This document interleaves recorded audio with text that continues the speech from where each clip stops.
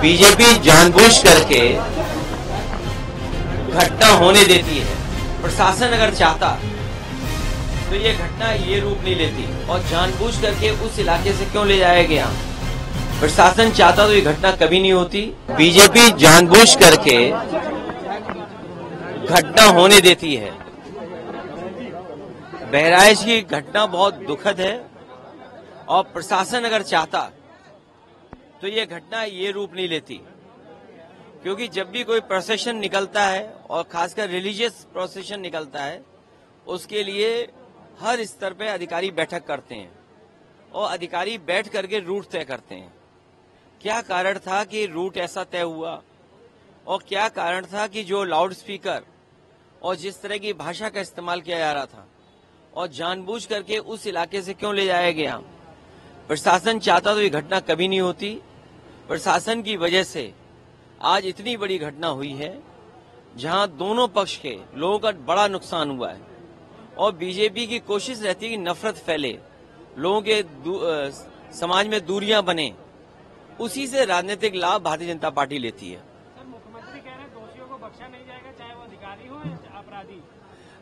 मुख्यमंत्री जी अधिकारियों को खुली छूट दिए हुए हैं। और खुली छूट देने का परिणाम यह है कि इतनी बड़ी घटना हो गई। क्या सरकार को ये नहीं जानकारी में रहा होगा कि रूट क्या है?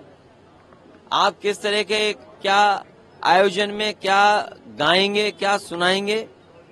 वहाँ के प्रशासन को पता है कि गलती किसकी है ज़िम्मेदारी किसकी है। ये सरकार अन्याय करती है अन्याय। सर विसर्जन के दौरान जिस दौरान ले जा रहे ये पहली कस्टोडियल डेथ नहीं है।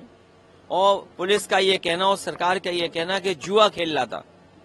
अभी दिवाली का त्योहार आएगा न जाने कितनी जगह जुआ होगा। क्या सरकार सबको मारेगी? और फिर अगर कोई जुआ का खेल देख रहा है तो क्या आप उसकी हत्या कर देंगे? उसके लिए धारा है पकड़ लें जेल भेज दें। वो अलग विषय है लेकिन कस्टोडियल डेथ और इस तरह का पुलिस का काम पूरे उत्तर प्रदेश में हो रहा है न जाने कितनी जान पुलिस ले चुकी है। आ, सर अमन की मौत के बाद परिजन जितने सड़कों पर आए थे लाठीचार्ज उन पर किया गया था।